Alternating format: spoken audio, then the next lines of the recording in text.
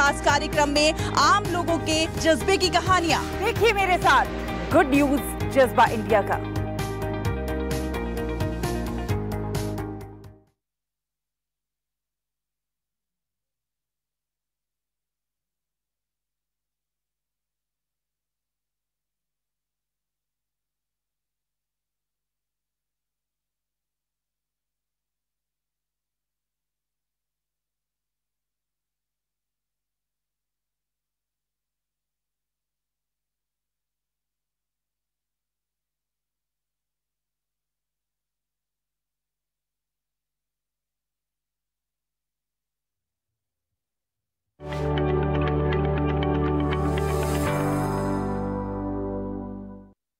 मेरे प्यारे देशवासियों, नमस्कार।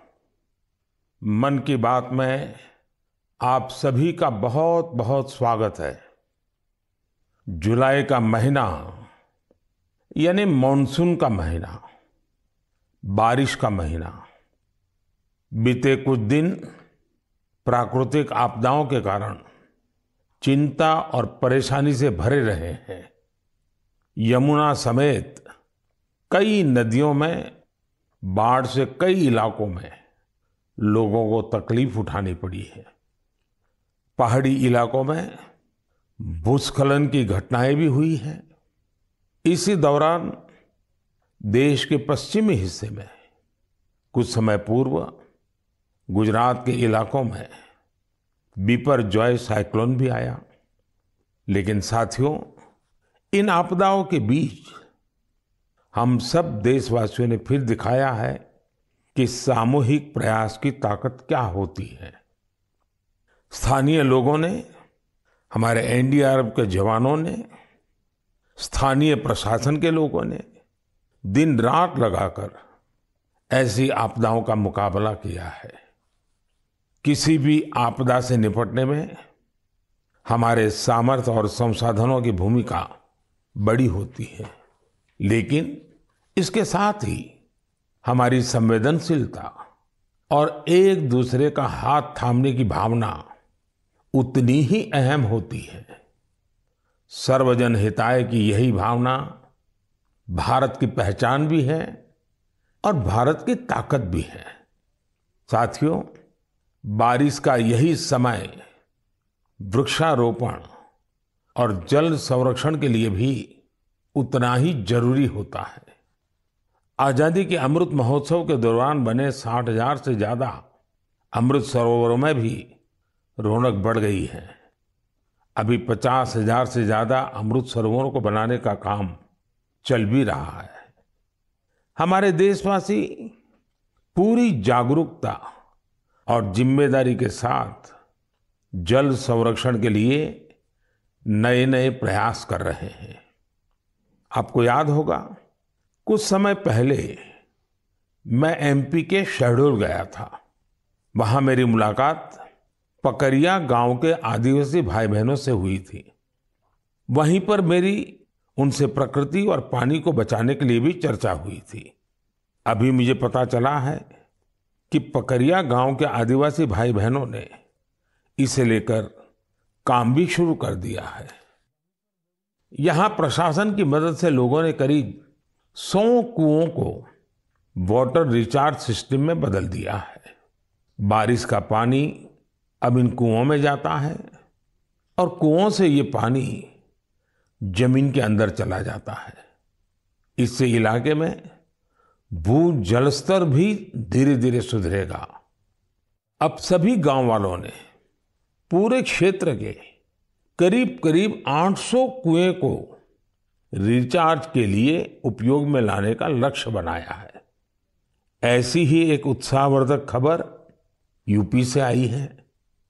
कुछ दिन पहले उत्तर प्रदेश में एक दिन में 30 करोड़ पेड़ लगाने का रिकॉर्ड बनाया गया है। इस अभियान की शुरुआत राज्य सरकार ने की, उसे पूरा वहाँ के लोगों ने किया। ऐसे प्रयास जन भागीदारी के साथ साथ जन जागरण के भी बड़े उदाहरण हैं।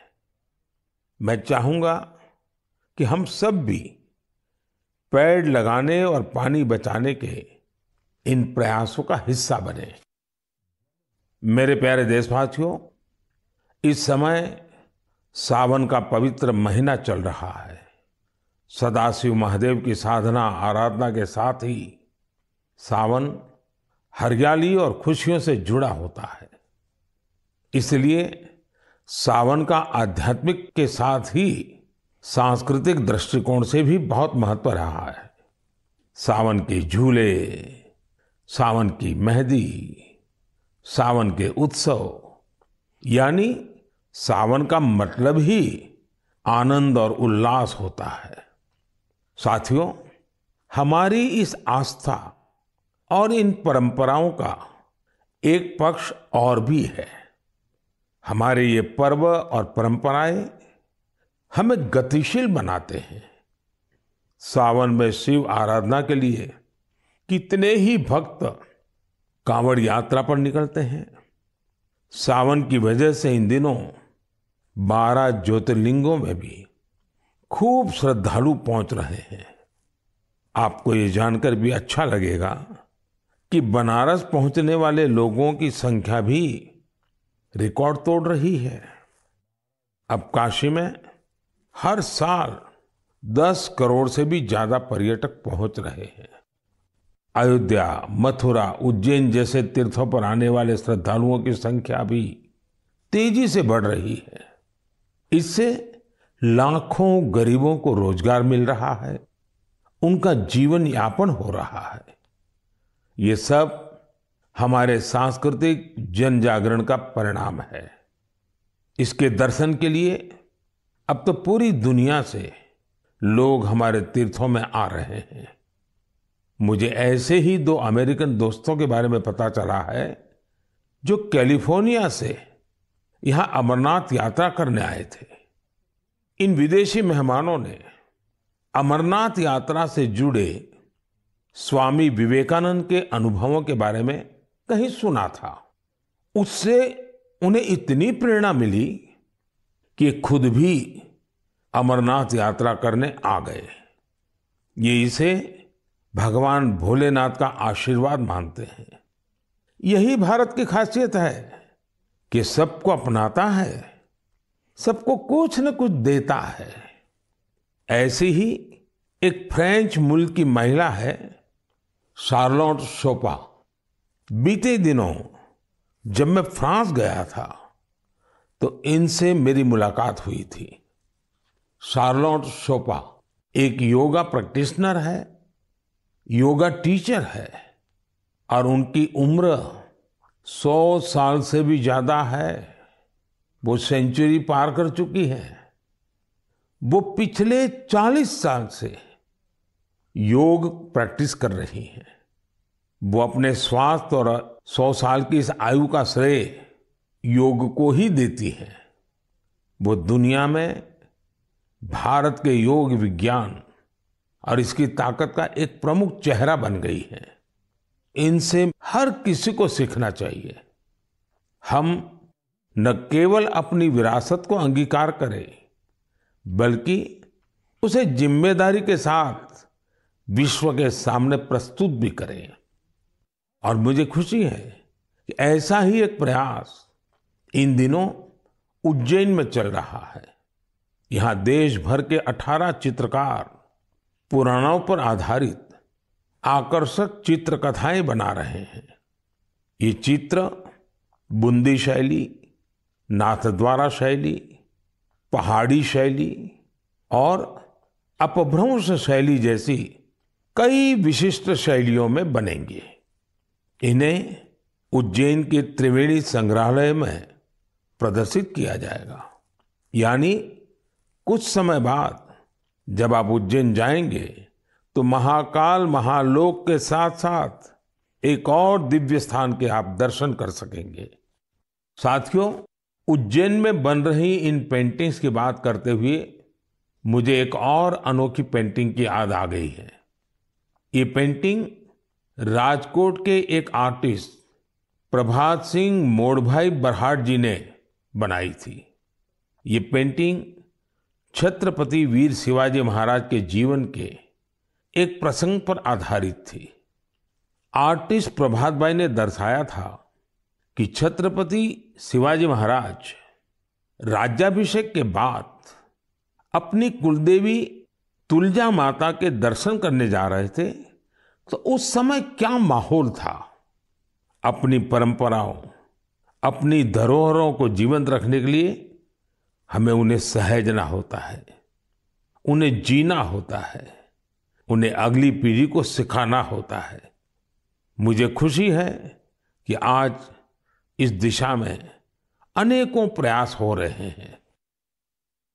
मेरे प्यारे देशवासियों कई बार जब हम इकोलॉजी, फ्लोरा, फोना बायोडायवर्सिटी जैसे शब्द सुनते हैं तो कुछ लोगों को लगता है कि ये तो स्पेशलाइज सब्जेक्ट है। इनसे जुड़े एक्सपर्ट के विषय हैं। लेकिन ऐसा नहीं है। अगर हम वाकई प्रकृति प्रेम करते हैं तो हम अपने छोटे छोटे प्रयासों से भी बहुत कुछ कर सकते हैं। तमिलनाडु में वाड़ा वाड़ावल्ली के एक साथी हैं सुरेश राघवन जी राघवन जी को पेंटिंग का शौक है। आप जानते हैं, पेंटिंग कला और कैनवास से जुड़ा काम है। लेकिन राघवन जी ने तय किया कि वो अपनी पेंटिंग्स के ज़रिए पेड़, पौधों और जीव जंतुओं की जानकारी को संरक्षित करेंगे। वो अलग अलग फ्लोरा और फोना की पेंटिंग्स बनाकर उनसे जुड़ी जानकारी का डॉक्यूमेंटेशन करते हैं। वो अब तक दर्जनों ऐसी चिड़ियाओं की, पशुओं की ऑर्चिड्स की पेंटिंग्स बना चुके हैं, जो विलुप्त होने की कगार पर है। कला के ज़रिए, प्रकृति की सेवा करने का ये उदाहरण वाकई अद्भुत है। मेरे प्यारे देशवासियों, आज मैं आपको एक और दिलचस्प बात भी बताना चाहता हूँ। कुछ दिन पहले सोशल मीडिया पर एक अद्भुत क्रेज दिखा। अमेरिका ने हमें सौ से ज़्यादा दुर्लभ और प्राचीन कलाकृतियाँ वापस लौटाई है। इस खबर के सामने आने के बाद सोशल मीडिया पर इन कलाकृतियों को लेकर खूब चर्चा हुई। युवाओं में अपनी विरासत के प्रति गर्व का भाव दिखा। भारत लौटी ये कलाकृतियाँ ढाई हज़ार साल से लेकर ढाई सौ साल तक पुरानी है। आपको यह भी जानकर खुशी होगी कि इन दुर्लभ चीज़ों का नाता देश के अलग अलग क्षेत्रों से है। ये टेराकोटा, स्टोन, मेटल और लकड़ी के इस्तेमाल से बनाई गई है। इनमें से कुछ तो ऐसी हैं जो आपको आश्चर्य से भर देंगी। आप इन्हें देखेंगे तो देखते ही रह जाएँगे। इनमें ग्यारहवीं शताब्दी का एक खूबसूरत सैंड स्टोन स्कल्पचर भी आपको देखने को मिलेगा। ये नृत्य करती हुई एक अप्सरा की कलाकृति है, जिसका नाता मध्य प्रदेश से है। चोल युग की कई मूर्तियों भी इनमें शामिल है। देवी और भगवान मुर्गन की प्रतिमाएँ तो बारहवीं शताब्दी की है और तमिलनाडु की वैभवशाली संस्कृति से जुड़ी है। भगवान गणेश की करीब एक हज़ार वर्ष पुरानी कांसे की प्रतिमा भी भारत को लौटाई गई है। ललितासन में बैठे उमा महेश्वर की एक मूर्ति ग्यारहवीं शताब्दी की बताई जाती है, जिसमें वे दोनों नंदी पर आसीन है। पत्थरों से बनी जैन तीर्थंकरों की दो मूर्तियाँ भी भारत वापिस आई हैं। भगवान सूर्यदेव की दो प्रतिमाएँ भी आपका मन मोह लेंगी इनमें से एक सैंडस्टोन से बनी है। वापस लौटाई गई चीज़ों में लकड़ी से बना एक पैनल भी है, जो समुद्र मंथन की कथा को सामने लाता है। सोलहवीं, सत्रहवीं सदी के इस पैनल का जुड़ाव दक्षिण भारत से है। साथियों, यहाँ मैंने तो बहुत कभी नाम लिए हैं, जबकि देखे तो ये लिस्ट बहुत लंबी है। मैं अमेरिकी सरकार का आभार करना चाहूँगा जिन्होंने हमारी इस बहुमूल्य विरासत को लौटाया है। 2016 और 2021 में भी जब मैंने अमेरिका की यात्रा की थी, तब भी कई कलाकृतियाँ भारत को लौटाई गई थी। मुझे विश्वास है कि ऐसे प्रयासों से हमारी सांस्कृतिक धरोहरों की चोरी रोकने को, इस बात को लेकर के देश भर में जागरूकता बढ़ेगी। इससे हमारी समृद्ध विरासत से देशवासियों का लगाव भी और गहरा होगा। मेरे प्यारे देशवासियों, देवभूमि उत्तराखंड की कुछ माताओं और बहनों ने जो पत्र मुझे लिखे हैं, वो भावुक कर देने वाले हैं। उन्होंने अपने बेटे को, अपने भाई को खूब सारा आशीर्वाद दिया है। उन्होंने लिखा है कि उन्होंने कभी कल्पना भी नहीं की थी कि हमारी सांस्कृतिक धरोहर रहा भोजपत्र उनकी आजीविका का साधन बन सकता है। आप सोच रहे होंगे कि यह पूरा माजरा है क्या? साथियों तो मुझे ये पत्र लिखे हैं, चमोली ज़िले की नीति माणा घाटी की महिलाओं ने। ये वो महिलाएँ हैं जिन्होंने पिछले साल अक्टूबर में मुझे भोजपत्र पर एक अनूठी कलाकृति भेंट की थी। ये उपहार पाकर मैं भी बहुत अभिभूत हो गया। आखिर हमारे यहाँ प्राचीन काल से हमारे शास्त्र और ग्रंथ इन्हीं भोजपत्रों पर सहजे जाते रहे हैं। महाभारत भी तो इसी भोजपत्र पर लिखा गया था। आज देवभूमि की ये महिलाएँ इस भोजपत्र से बेहद ही सुंदर सुंदर कलाकृतियाँ और स्मृति चिन्ह बना रही हैं। माणा गाँव की यात्रा के दौरान मैंने उनके इस यूनिक प्रयास की सराहना की थी। मैंने देवभूमि आने वाले पर्यटकों से अपील की थी कि वो यात्रा के दौरान ज़्यादा से ज़्यादा लोकल प्रोडक्ट्स खरीदें। इसका वहाँ बहुत असर हुआ है। आज भोजपत्र के उत्पादों को यहाँ आने वाले तीर्थयात्री काफ़ी पसंद कर रहे हैं। और इसे अच्छे दामों पर खरीद भी रहे हैं। भोजपत्र की यह प्राचीन विरासत उत्तराखंड की महिलाओं के जीवन में खुशहाली के नए नए रंग भर रही है। मुझे यह जानकर भी खुशी हुई है कि भोजपत्र से नए नए प्रोडक्ट बनाने के लिए राज्य सरकार महिलाओं को ट्रेनिंग भी दे रही है। राज्य सरकार ने भोजपत्र की दुर्लभ प्रजातियों को संरक्षित करने के लिए भी अभियान शुरू किया है।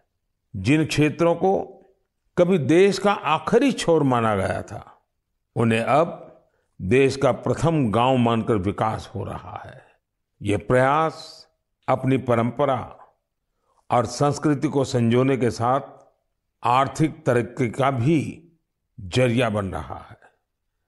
मेरे प्यारे देशवासियों, मन की बात में मुझसे इस बार काफ़ी संख्या में ऐसे पत्र भी मिले हैं जो मन को बहुत ही संतोष देते हैं। ये चिट्ठी उन मुस्लिम महिलाओं ने लिखी है जो हाल ही में हज यात्रा करके आई है। उनकी यात्रा कई मायनों में बहुत खास है। ये वो महिलाएँ हैं जिन्होंने हज की यात्रा बिना किसी पुरुष सहयोगी या महरम के बिना पूरी की है। और ये संख्या सौ पचास नहीं, बल्कि चार हज़ार से ज़्यादा है। यह एक बड़ा बदलाव है। पहले मुस्लिम महिलाओं को बिना महरम हज करने की इजाज़त नहीं थी। मैं मन की बात के माध्यम से सऊदी अरब सरकार का भी हृदय से आभार व्यक्त करता हूँ। बिना महरम हज पर जा रही महिलाओं के लिए खास तौर पर विमेन कोऑर्डिनेटर्स नियुक्ति की गई थी। साथियों, बीते कुछ वर्षों में हज पॉलिसी में जो बदलाव किए गए हैं, उनकी भरपूर सराहना हो रही है। हमारी मुस्लिम माताओं और बहनों ने इस बारे में मुझे काफ़ी कुछ लिखा है। अब ज़्यादा से ज़्यादा लोगों को हज पर जाने का मौका मिल रहा है। हज यात्रा से लौटे लोगों ने विशेषकर हमारी माताओं, बहनों ने चिट्ठी लिखकर जो आशीर्वाद दिया है, वो अपने आप में बहुत प्रेरक है। मेरे प्यारे देशवासियों, जम्मू कश्मीर में म्यूजिकल नाइट्स हो, हाई एल्टीट्यूड में बाइक रैलीज हो, चंडीगढ़ के लोकल क्लब हो और पंजाब में ढेर सारे स्पोर्ट्स ग्रुप्स हो। ये सुनकर लगता है एंटरटेनमेंट की बात हो रही है एडवेंचर की बात हो रही है। लेकिन बात कुछ और है। ये आयोजन एक कॉमन कॉज से भी जुड़ा हुआ है। और ये कॉमन कॉज है ड्रग्स के खिलाफ जागरूकता अभियान। जम्मू कश्मीर के युवाओं को ड्रग्स से बचाने के लिए कई इनोवेटिव प्रयास देखने को मिले हैं। यहाँ म्यूजिकल नाइट, बाइक रैली जैसे कार्यक्रम हो रहे हैं। चंडीगढ़ में इस मैसेज को स्प्रेड करने के लिए लोकल क्लब्स को इससे जोड़ा गया है। वे इन्हें वादा क्लब्स कहते हैं। वादा यानी victory against drugs abuse Punjab में कई स्पोर्ट्स ग्रुप भी बनाए गए हैं, जो फिटनेस पर ध्यान देने और नशा मुक्ति के लिए अवेयरनेस कैंपेन चला रहे हैं। नशे के खिलाफ अभियान में युवाओं की बढ़ती भागीदारी बहुत उत्साह बढ़ाने वाली है। ये प्रयास भारत में नशे के खिलाफ अभियान को बहुत ताकत देते हैं। हमें देश की भावी पीढ़ियों को बचाना है तो उन्हें ड्रग्स से दूर रखना ही होगा। इसी सोच के साथ 15 अगस्त 2020 को नशा मुक्त भारत अभियान की शुरुआत की गई थी। इस अभियान से 11 करोड़ से ज़्यादा लोगों को जोड़ा गया है। दो हफ़्ते पहले ही भारत ने ड्रग्स के खिलाफ बहुत बड़ी कार्रवाई की है।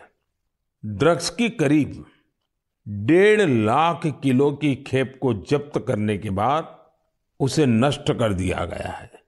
भारत ने 10 लाख किलो ड्रग्स को नष्ट करने का अनोखा रिकॉर्ड भी बनाया है। इन ड्रग्स की कीमत बारह हज़ार करोड़ रुपए से भी ज़्यादा थी। मैं उन सभी की सराहना करना चाहूँगा जो नशा मुक्ति के इस नेक अभियान में अपना योगदान दे रहे हैं। नशे की लत, न सिर्फ़ परिवार, बल्कि पूरे समाज के लिए बड़ी परेशानी बन जाती है।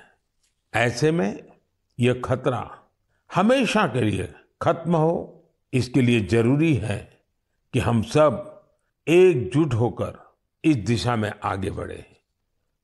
मेरे प्यारे देशवासियों, जब बात ड्रग्स और युवा पीढ़ी की हो रही है तो मैं आपको मध्य प्रदेश की एक इंस्पायरिंग जर्नी के बारे में भी बताना चाहता हूँ। ये इंस्पायरिंग जर्नी है मिनी ब्राज़ील की। आप सोच रहे होंगे कि मध्य प्रदेश में मिनी ब्राज़ील कहाँ से आ गया? यही तो ट्विस्ट है। एमपी के शहडोल में एक गाँव है विचारपुर। विचारपुर को मिनी ब्राज़ील कहा जाता है।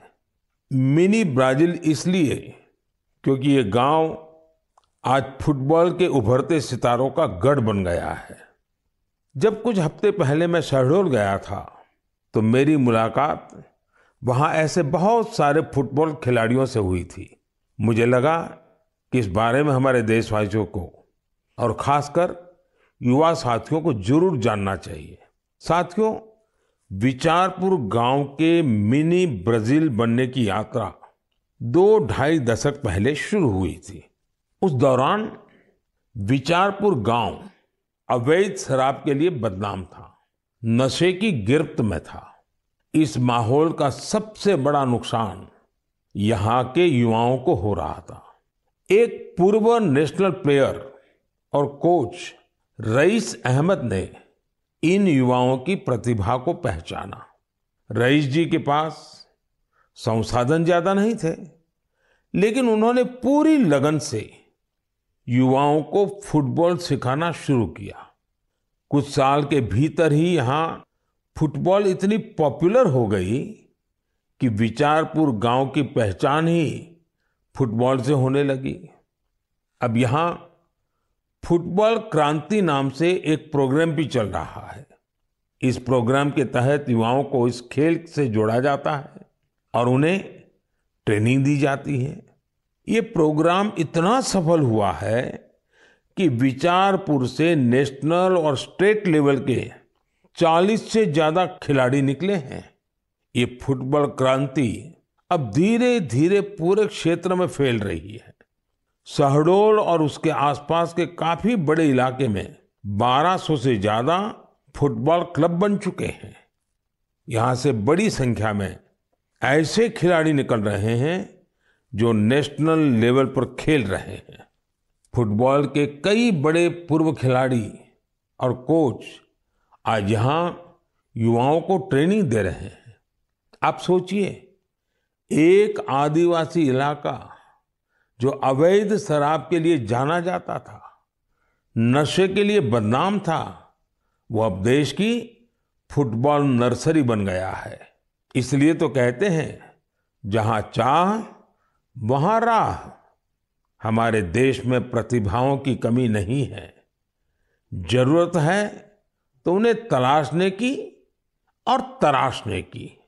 इसके बाद यही युवा देश का नाम रोशन भी करते हैं और देश के विकास को दिशा भी देते हैं। मेरे प्यारे देशवासियों, आज़ादी के 75 साल पूरे होने के अवसर पर हम सभी पूरे उत्साह से अमृत महोत्सव मना रहे हैं।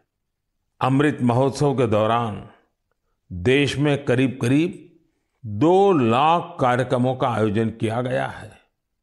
ये कार्यक्रम एक से बढ़कर एक रंगों से सजे थे, विविधता से भरे थे। इन आयोजनों की एक खूबसूरती ये भी रही इनमें रिकॉर्ड संख्या में युवाओं ने हिस्सा लिया। इस दौरान हमारे युवाओं को देश की महान विभूतियों के बारे में बहुत कुछ जानने को मिला। पहले कुछ महीनों की बात करें तो जन भागीदारी से जुड़े कई दिलचस्प कार्यक्रम देखने को मिले। ऐसा ही एक कार्यक्रम था दिव्यांग लेखकों के लिए। राइटर मीट का आयोजन। इसमें रिकॉर्ड संख्या में लोगों की सहभागिता देखी गई। वहीं आंध्र प्रदेश के तिरुपति में राष्ट्रीय संस्कृत सम्मेलन का आयोजन हुआ। हम सभी जानते हैं कि हमारे इतिहास में किलों का, फोर्ट्स का कितना महत्व रहा है। इसी को दर्शाने वाली एक कैंपेन, किले और कहानियाँ, यानी फोर्ट से जुड़ी कहानियाँ भी लोगों को खूब पसंद आई। साथियों, आज जब देश में चारों तरफ़ अमृत महोत्सव की गूंज है 15 अगस्त पास ही है तो देश में एक और बड़े अभियान की शुरुआत होने जा रही है। शहीद वीर वीरांगनाओं को सम्मान देने के लिए मेरी माटी, मेरा देश अभियान शुरू होगा। इसके तहत देश भर में हमारे अमर बलिदानियों की स्मृति में अनेक कार्यक्रम आयोजित होंगे। इन विभूतियों की स्मृति में देश की लाखों ग्राम पंचायतों में विशेष शिलालेख भी स्थापित किए जाएँगे। इस अभियान के तहत देश भर में अमृत कलश यात्रा भी निकाली जाएगी। देश के गांव-गांव से, कोने-कोने से 7500 कलशों में मिट्टी लेकर ये अमृत कलश यात्रा देश की राजधानी दिल्ली पहुंचेगी। ये यात्रा अपने साथ देश के अलग अलग हिस्सों से पौधे लेकर भी आएगी। 7500 कलश में आई माटी और पौधों से मिलाकर फिर नेशनल वॉर मेमोरियल के समीप अमृत वाटिका का निर्माण किया जाएगा। ये अमृत वाटिका एक भारत श्रेष्ठ भारत का भी बहुत ही भव्य प्रतीक बनेगी। मैंने पिछले साल लाल किले से अगले 25 वर्षों के अमृतकाल के लिए पंच प्राण की बात की थी। मेरी माटी, मेरा देश अभियान में हिस्सा लेकर हम इन पंच प्राणों को पूरा करने की शपथ भी लेंगे। आप सभी देश की पवित्र मिट्टी को हाथ में लेकर शपथ लेते हुए अपनी सेल्फी को युवा डॉट गॉव डॉट इन पर ज़रूर अपलोड करें। पिछले वर्ष स्वतंत्रता दिवस के अवसर पर हर घर तिरंगा अभियान के लिए जैसा पूरा देश एक साथ आया था, वैसे ही हमें इस बार भी फिर से हर घर तिरंगा फहराना है और इस परंपरा को लगातार आगे बढ़ाना है। इन प्रयासों से हमें अपने कर्तव्यों का बोध होगा। देश की आज़ादी के लिए दिए गए असंख्य बलिदानों का बोध होगा। आज़ादी के मूल्य का एहसास होगा। इसलिए हर देशवासी को इन प्रयासों से ज़रूर जुड़ना चाहिए। मेरे प्यारे देशवासियों, मन की बात में आज बस इतना ही। अब कुछ ही दिनों में हम 15 अगस्त, आज़ादी का ये महान पर्व का हिस्सा बनेंगे। देश की आज़ादी के लिए मर मिटने वालों को हमेशा याद रखना है। हमें उनके सपनों को सच करने के लिए दिन रात मेहनत करनी है। और मन की बात, देशवासियों की इसी मेहनत को, उनके सामूहिक प्रयासों को सामने लाने का ही एक माध्यम है। अगली बार कुछ नए विषयों के साथ आपसे मुलाकात होगी। बहुत बहुत धन्यवाद। नमस्कार।